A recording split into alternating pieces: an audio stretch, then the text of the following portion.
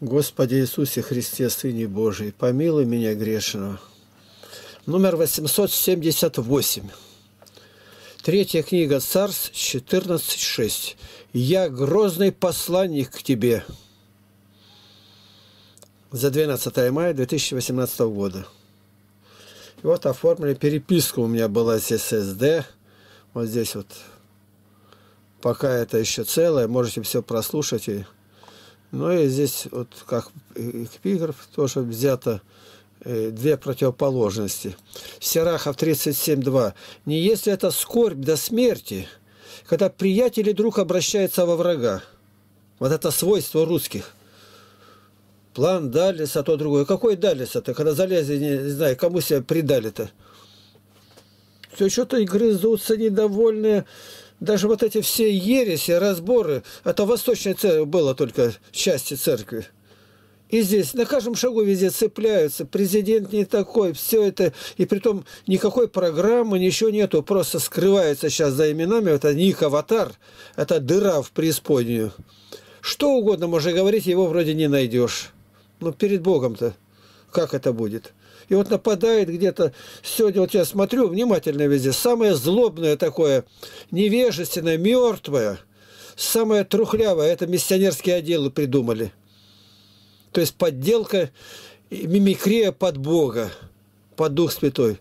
Да разве так работают где-то? Везде бросаются, всякую ложь придумывают. Безразмерное презрение к людям. А кто? Дворки написали специально. Их ничего не видят и не понимают. Вот такое жестокосердие прям на листах написано. Никогда не встречался, ничего не видел, и друг друга давят и давят везде. А что? А отдел миссионерский выходит на улицу и говорит, что победить надо кого? Совершенно слепые. Вот как будто идет какой-то отбор. Я раньше думал, вот священники, епископы набирают как? Власти ставят, значит, нужно взять корыстолюбивого. Ну, отобрали на одно место пять тысяч. Все корыстолюбивые.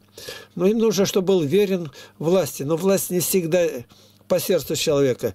Ну, проверять надо. Проверили, 500 осталось. А теперь надо посмотреть, как он любит народ или нет. О, тут отсеялось сразу. Сразу осталось 5 человек. Не любит. Зато, он говорит, никого так не боюсь, как епископов. Это во все века было. А вот теперь это еще не все. А нужно избрать одного только. И дальше еще ставит одно такое условие, второе, и отсеялось. Любят ли они правду? Осталось два. Не любят.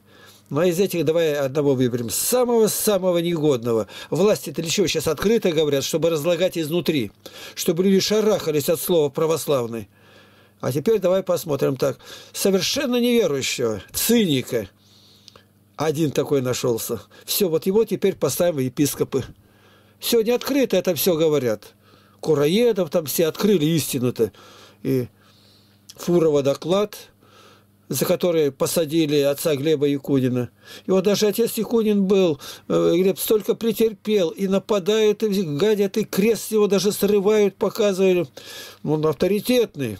Его избрали в Государственную Думу. Везде. Но нигде не видно ни у каких. Ни у мусульман, ни у буддистов, ни у язычников, ни у кого. Православие. Сгусток неимоверной злобы. И куда бы кинуться. А сам действительно, на кого кидается-то, ну, хотя бы разобрался или что-то, он выйдет. Один вот такой не будет. А вот теперь они собрались, сбились в эту кучу, как вот бывает ну, весной собака гуляется, когда там течкует, и за ней там куча кобелей бежит. И попробуй попадись на за ребенка кого угодно разорвут. Эти никого не понимают. Что претерпели, это высказать нельзя. Подряд все, сословие священников уничтожалось.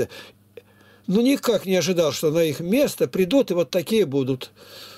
Никакой меры нету, ни, ничего нету. Совершенно неверующие. И, из них теперь пена это полезно, миссионерский отдел. Хотя бы один кто-то где-то слово сказал, ну, ну никто. Ну, посмотрите на себя в зеркало хотя бы один раз подойдите и скажите, когда я перестану лгать? Где вы видели, чтобы были миссионерские отделы апостолов? Два человека, по два Бог отправил. 70 избрал, опять разделил по двойке, не по трое даже. Ну, тут ничего не надо доказывать. Не понимают. И когда скажешь, вот, тогда они понимают, что их разоблачили. Он тогда гонит все подряд. Как я шел, что у меня сапоги стоптанные, что у меня заплаты есть. Он все абсолютно гонит и гонит, чтобы как бы свалить, авторитет подорвать. А ты подорвал-то только свой. Вот это вот посмотрите, что тут написано красным, крупным. Вот здесь это как раз и все и есть. Неверующие. А если бы знал, что за каждое слово отвечать, когда им говоришь, что по-мирски вот такими вы называетесь, как они беснуются, почему разоблачили. Я говорю, магазин кто-то грабит, стекло выбил там, ну, его никто не видит. Люди ходят рядом и не видят, и там вытаскивают. И вдруг машина разворачивается, осветила, все увидели. Ну, нашлись люди, задержали. Он больше всего ненавидит, кто свет. Вы свет миру. Кто свет осветил его там грабителя. И здесь они. Я вот сейчас посмотрю, вместе взятое там на Путина это, э, с патриархом меньше нападают. Может быть, я не все знаю, чем на меня в разы при том. А почему? Каждом деле, везде, где я говорил по Слову Божию, оно их прожигает буквально. Ну, только взять да и покаяться, и сказать, все, ну, было, не знало, не тут-то было. Вот создали эти отделы, и приходят ни стыда, ни совести, расписываются, получают деньги за эту, за отраву, которая травят людей. Вот на улице ходят, как они говорят, кого они обращают. Вдвое худшим себя сыном гиены делают – Здесь ничего не надо, просто надо молиться. Молиться и кротко вести себя. Вот я еще не встречал ни разу, чтобы вот у таких людей были голуби. Что это мне потом только уже в газете у нас в «Алтайской правде» большая статья была «У злого человека голуби не водятся». Действительно, стал смотреть, ни у кого нету. Нету. Сестра у меня у старообрядцев, я говорю, ты поищи, у них есть или нет. Нигде нету голуби, никто не держит. Так говорит, когда строили храм в Новосибирске, ну и голуби прилетают, там садят, так бабки камнями кидали в них. Вот интересный определитель. Его нигде нет такого, ну, показано. Великая скорбь, где-то утешение, голубь принес. Дальше приносит в жертву и везде. Ты нежная голубица. Посмотришь, действительно так даже среди заключенных где-то бывает, ну, совершил зло. Действительно, была драка, там ему ну, нож подсунули, там вот как в зоне, фильм «Зона» говорится-то. Ну, его ставят там где-то голубятня у них в зоне и ухаживают. Никто не будет за ними ухаживать. Кто любит? Они, эти люди, которые за голубями-то ходят, покупают, платят деньги, они особые. В них что-то такое. Вот я сегодня про голубей тут прочитаю стихотворение мое, случайно нашел тут. Я беру из интернета, когда-то выставлял их. Благослови Господи. Наталья Чернова. Так и противовес тому, что обращается во врага, это не, не если скорбь до смерти, а это 3 Иоанна 1.4. Для меня нет большей радости, как слышать, что дети мои ходят в истине. Вот а те, которые родились духовные, ходят в истине. И самая большая скорбь, когда человек превращается во врага. Вот крупного здесь вот беседуем, всем роликом, все по-хорошему. И вдруг к миссионерскому отделу его приблизили, он как осатанел сразу. Человек. А что это такое? Ну, что такое? Прикоснулся к труду Духа Святого. Это богохульники. У них какая-то свирепость особая – разложение изнутри где-то идет там что-то.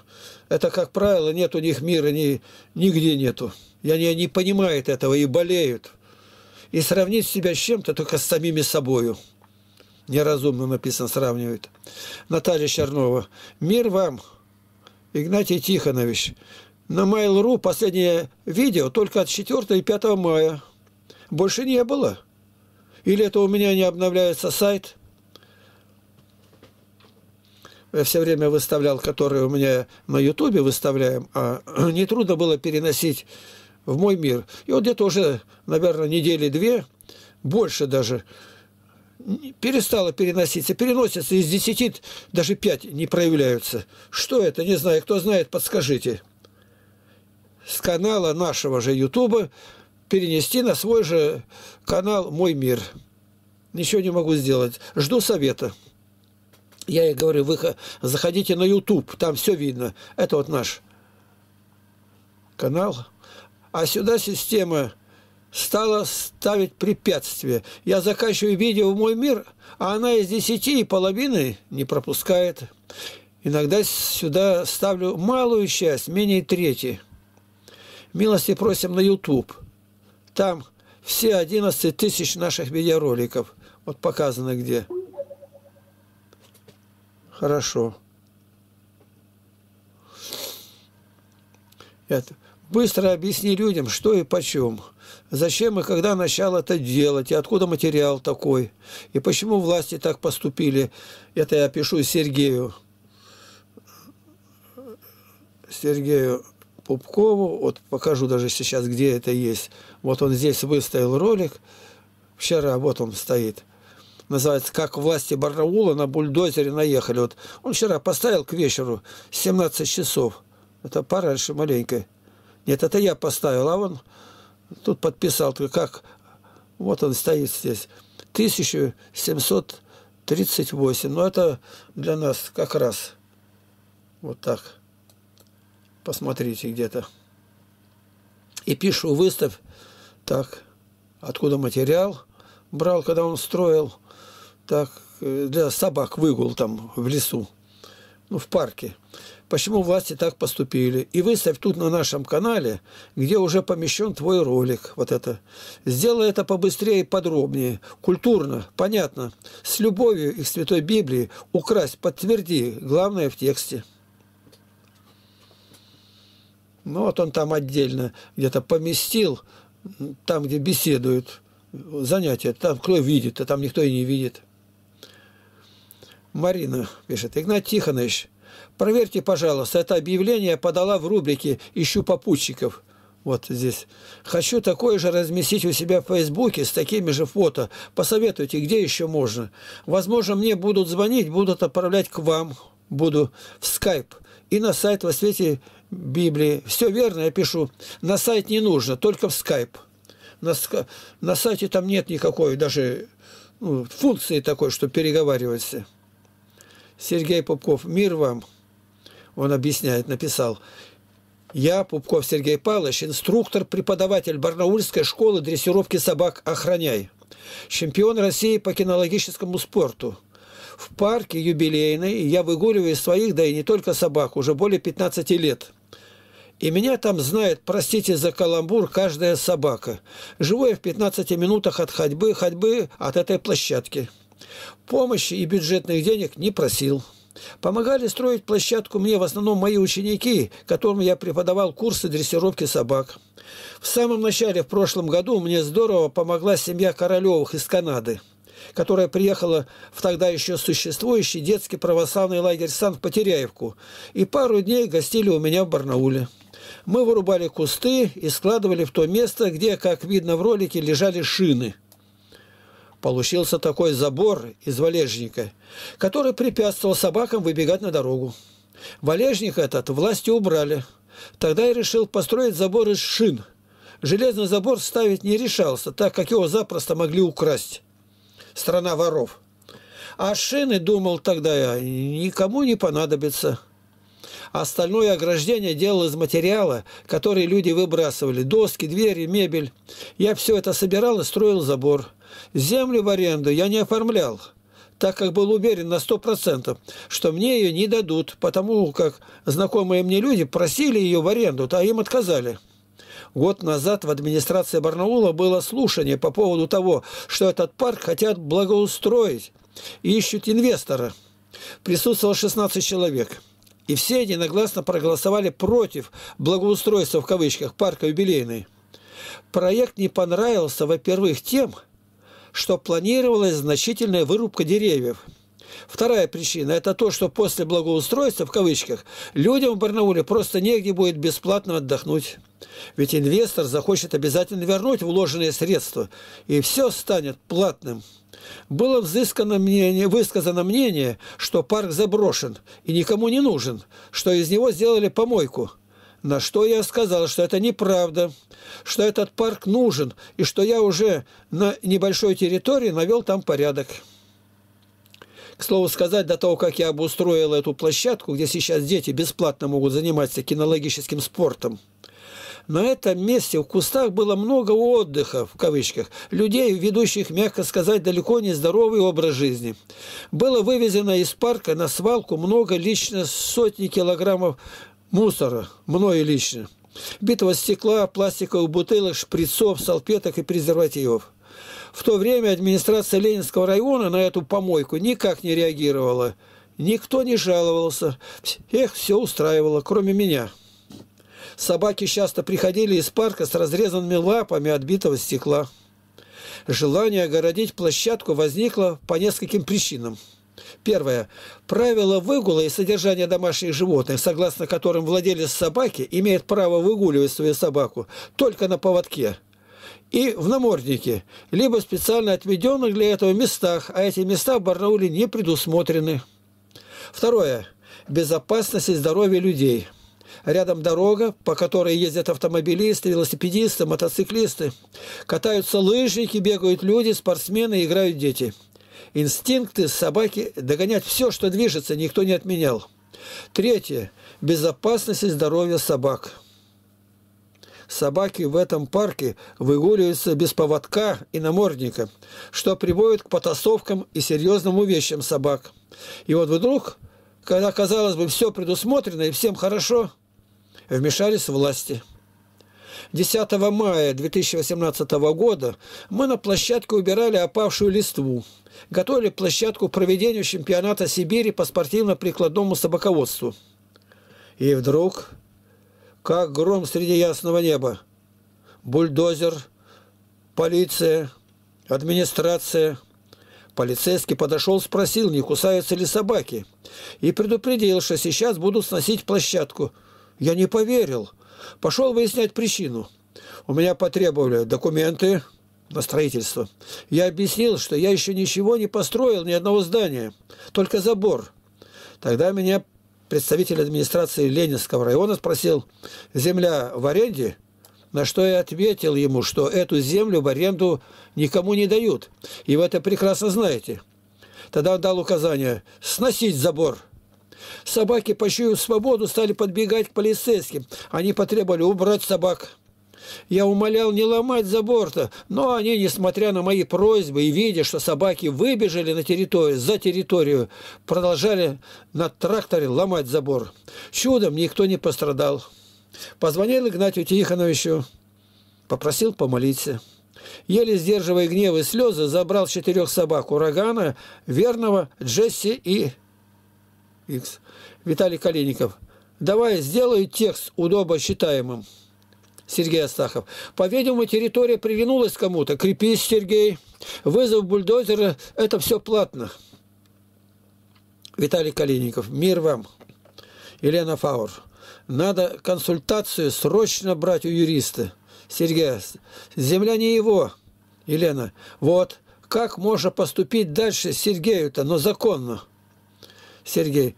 Астахов. Законно, если клуб официальный и аренда, например, 1 рубль в год. Елена.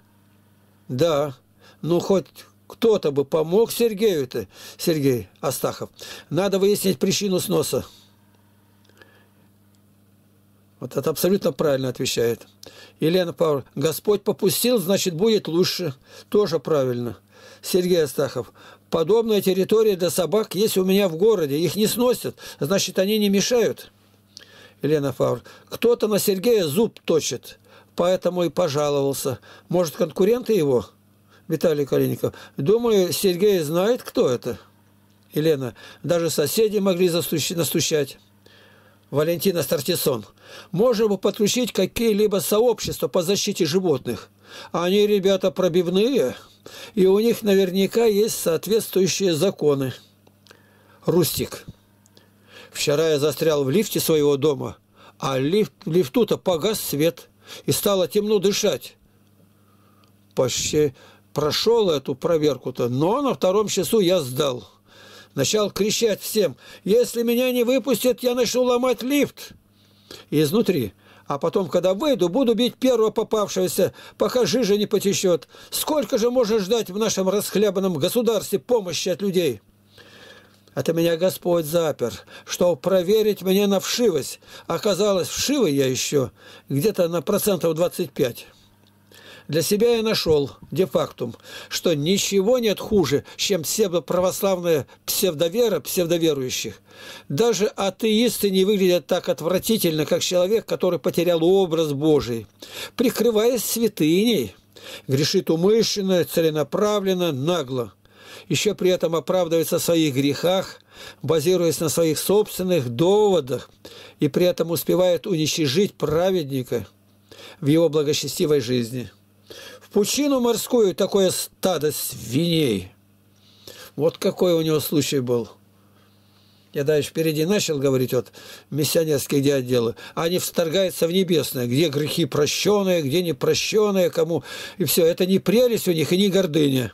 Она вся там, 99% из существующего. Такой-то человек не додумается сказать, а что не сказал, а вот это Бог ему зачтет, а это у него пропало, а этого нету. То есть осатанелое совершенно. Ну кто же знает, что там у Бога? Суда Божия еще не было, они все знают. То есть их возвысили, дали название миссия. Миссии нету. Миссия – это труд Духа Святого. Он не будет нигде в чужие дела лезть. Он кротко напомнит, но если это нарушается Слово Божие, тогда меч изножен. И вот я тут стихотворение свое нашел в интернете. «Неужто на небе не будет таких голубей, а я к ним привык, воркотнёю разбужен?» но с ласточкой вместе туда же влетит воробей, и даже орел, может, в царстве царственно кружит. Не знаю, на этот вопрос по пыхах не отвечу. Настолько все тускло, туманное, через стекло. От копоти грешной продыменно вытереть нечем, испачкано зрение грешное тщательным злом. Я знаю, для смерти мой Бог Иегова не стал бы творить и считать дни творения все до шести на отдых уходит в субботу, как будто устал он, и нас пригласил не за деньги, по-райски в раю погостить. И вещи Адам безбородый и юный до слез, играя мускулатурой и послушанием отменным, вникает серьезно в название твари не вскользь, в листве несторонней любовно накрыт полутенью.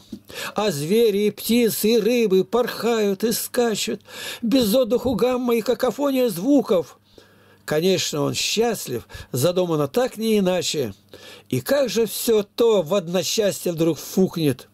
Лишь позже, потом был обучен змеиным сомнением, и там, за пределами рая, обнявшись, согреется с Евой, останется райское в напоминание пения и вызовет горькие в сердце о прошлом опевы. Придут размышления о смерти не раз, захочется лучшее, здешнее видеть за гробом – а может, все это лишь сказки, нетрезвый мираж, мечтание горести в сладком сиропе. С язычником-князем кололи в могилу коней и прочую живность и плачущих женщин. Летели столетия, за гробом не стало ясней. Желание падших все низменней, мельче. Но Павел в послании к римлянам пишет, что тварь вся стенает и ждет откровения верных – и голубь вполне в небесах не окажется лишним. Там рядом с ягненком лежат кровожадные звери. 17 октября 2007 года. Вот как. Ну, теперь немножко показать наши ресурсы. Вот мой мир. Сюда кое-что переношу, надо еще попробовать. Ну вот, форум наш легко составлен, 1600 тем. И канал наш, видеоканал. Богатый, богатый. 11 тысяч уже видеороликов и про зверей, и про птиц, и про все. Вот сегодня я тут поставил 12 роликов. Вот большой, тут сейчас 48 беседовал с юношей с Украины. Ну вот к утру закачалось все. Вот уже 29, сейчас обновлю, узнаю, 29 было посещение. Сейчас посмотрим сколько. Вот так. Не очень-то еще и запустит система.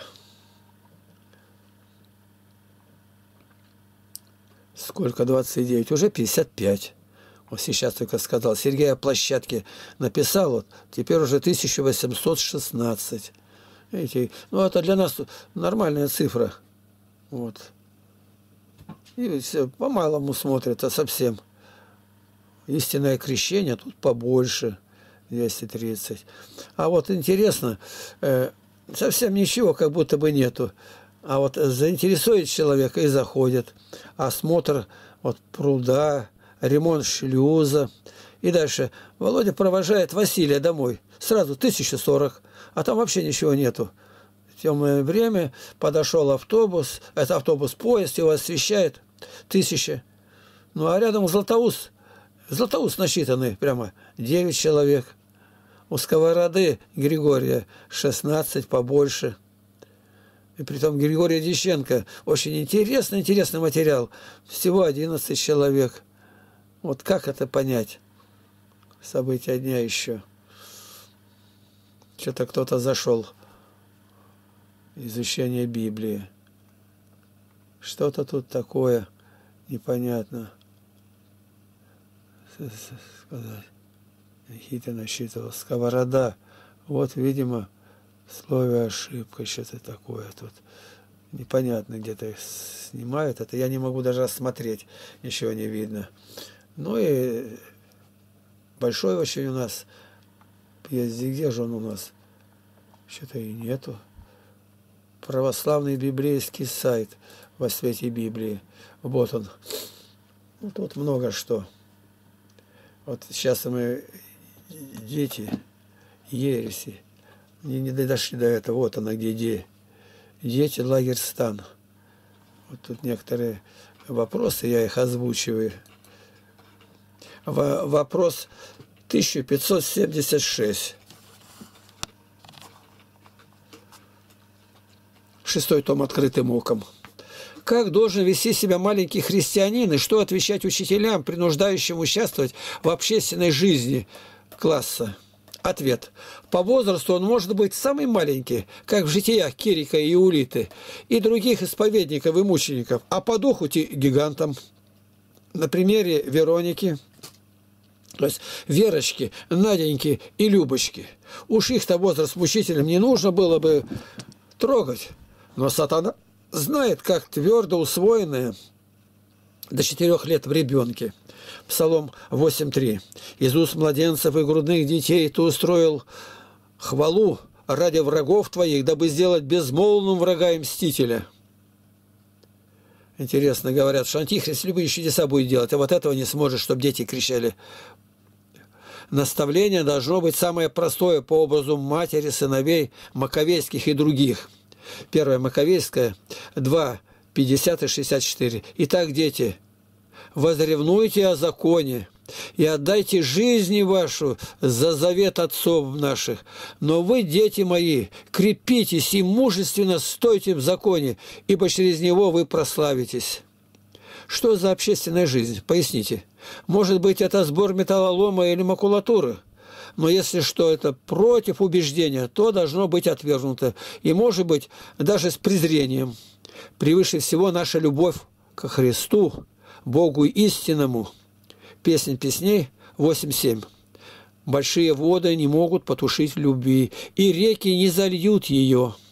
Если бы кто давал все богатства дома своего за любовь, то он был бы отвергнут с презрением. Вот это детям, это я в университете за кафедрой отвечаю. Снова. Вопрос 1577. Шестой том. Выступавшие против вас коммунисты на суде говорили о каком-то нарушении вами конвенции по правам ребенка. Поясните, что это такое? Ну, по лагерю судились. 15 комиссий краевого масштаба на лагерь напустили. Прокуратуру, там, милицию, ну все. 98 год. 15 краевых комиссий. Заблокировали все. Ну все, выстояли. И потом я подал в суд и все процессы выиграл.